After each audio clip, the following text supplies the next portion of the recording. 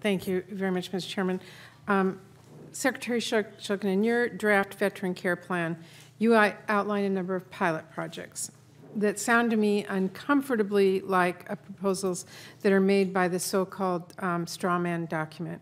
Uh, It's from the Commission on Care and by the extreme and to me unacceptable plan put forward by the Concerned Veterans of America, and those include creating a VA insurance plan and separating it from care delivery dividing the governance of a VA insurance plan and the health system, an alternative care model that sends veterans directly to the private sector.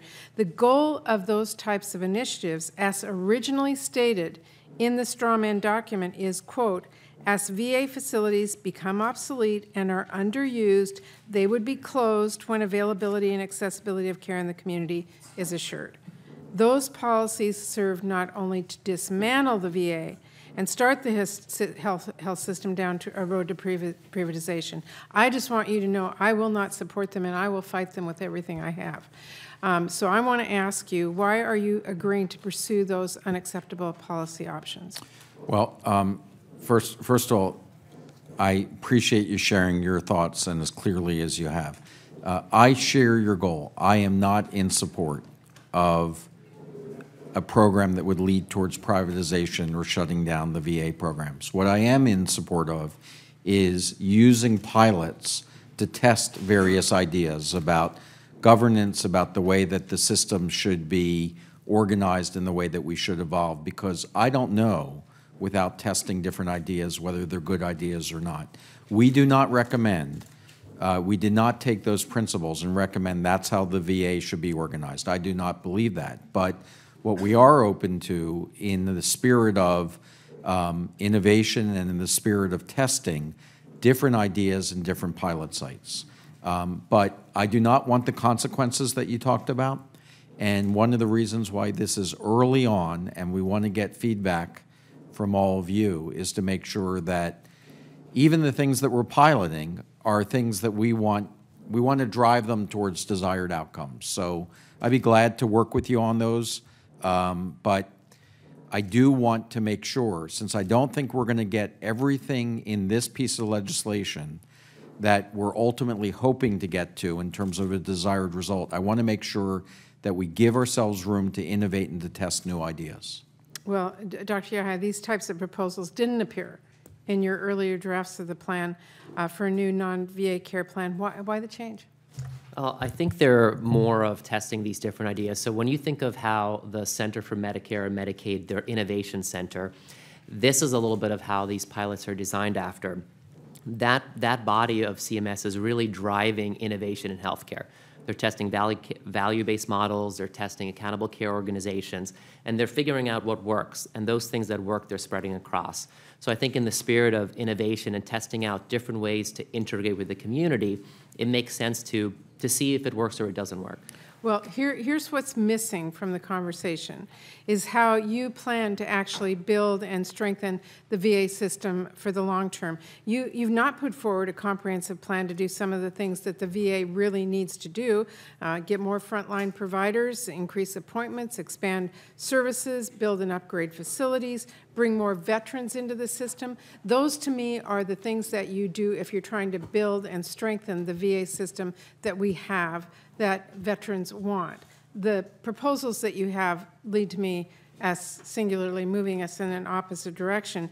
And, and if you propose to only invest, invest in certain select types of care like TBI or PTSD or polytrauma or prosthetics, hospitals can't be viable um, when you invest in only a handful of lines like that. So let me ask you the question reverse. How are you going to build a comprehensive VA system? Well, um, Senator, I think what you've just outlined is our agenda to be able to build up and strengthen the system. We call it modernize the system the way that you have.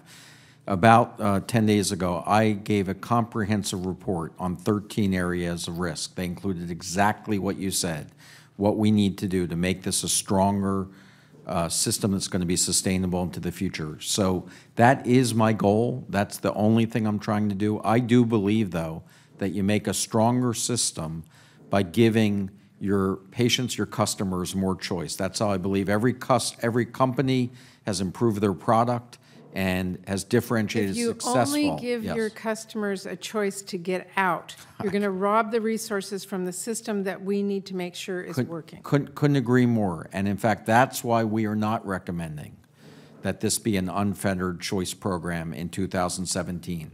I hope that we will get to the point that I do believe that VA has the investment that it needs to become the modern system, that it will be able to successfully get Okay, patients in I- and I- I have one more area I want to cover. Yep. You know where I'm coming Yes. from. Um, And I, I want to also add, I'm really concerned that the VA is continuing to propose billing veterans private health insurance for care for service-connected conditions. In your draft veteran care plan, you propose charging veterans $50 for walk-in clinic care. Um, Your requested bill language no- puts no cap on how high you could make those co-payments and would allow you to charge veterans for service-connected care. So I am deeply concerned about that. And I just want to ask you, do you think it's appropriate to break the nation's long-standing commitment to provide care for injuries received in military service and ask veterans to foot the bill? Well, let's make sure that we have the same understanding. My understanding is we did not ask to bill other health insurance for service-connected disabilities. So, so that's not what we're proposing, uh, and I don't know why Well, there's it- confusion over that. Well, you, you do propose charging veterans $50 Okay. for walk-in health? So, so a walk-in, a walk-in um, benefit is a brand-new benefit. So we don't offer that today. So what we're talking about in this is expanding the benefit to provide veterans the ability to get convenient care in their neighborhoods. The way that we're proposing it is, there would be no change in the copay or benefit structure for the first two visits of a brand-new benefit. Following that, then after two visits, because there's a cost that we're, we're adding a benefit, but we can't add an unlimited new benefit. So after two visits, we would propose that there be a copay cost. But this is no takeaway, this is an added benefit, because we believe it's the right thing to do. I, I think it is a break in the tradition, so I have deep Yeah. concerns about that. And I'm way over my time.